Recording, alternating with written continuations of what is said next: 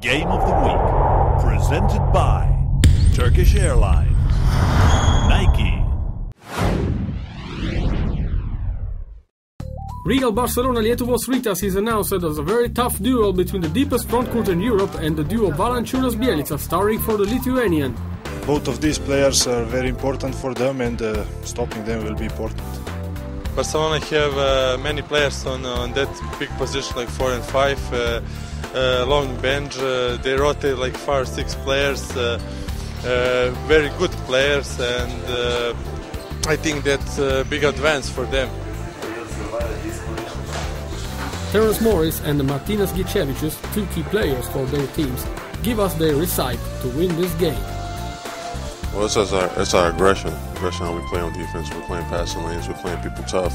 Um, if we're not, we're playing passive and letting teams do what they want to do on offense. It's hurting us because we're not being the passing lanes. We're letting them do what they want. And lack of pressure on those guys will result to two steals, and that's what we haven't been doing. We must play a good game. Uh, we must stop their transition because they play fast at home. They like to shoot uh, three pointers on fast break. They have good players on transition. So we must stop it and we play, must play good defense and, and then we will see what happens.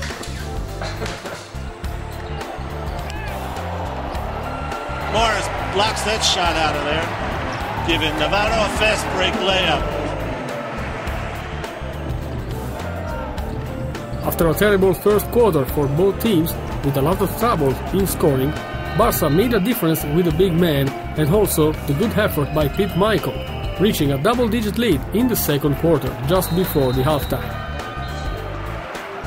Ricky Rubio comes up with it on the break, ends up with Mickeal, and he up and under, gets the ball, gets a fast break layup. That's Barcelona brand of basketball right there. Good defense, and then they all get out in the lane, run that fast break.